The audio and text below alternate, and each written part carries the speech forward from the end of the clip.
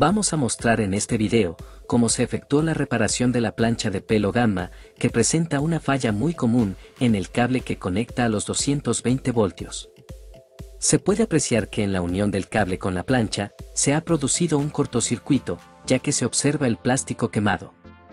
Se observa mejor en esta captura de imagen. En primer lugar, procedemos a quitar las tapas del tornillo que se encuentra en la parte central, es decir en el eje donde se mueven los brazos.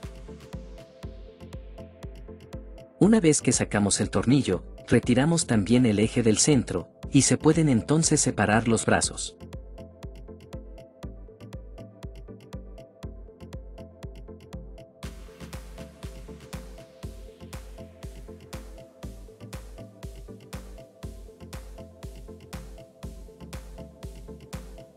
Luego, retiramos los tornillos que mantienen fijos el conector de entrada, que es una pieza móvil, que acopla los 220 voltios permitiendo el giro del cable cuando se usa la plancha.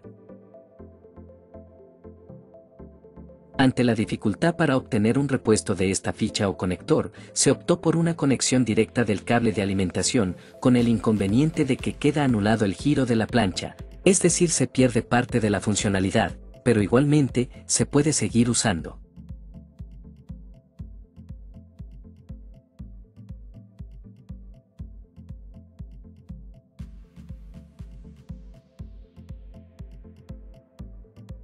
Vemos aquí, cómo queda luego de soldar directamente los cables a los terminales internos y aislar las uniones.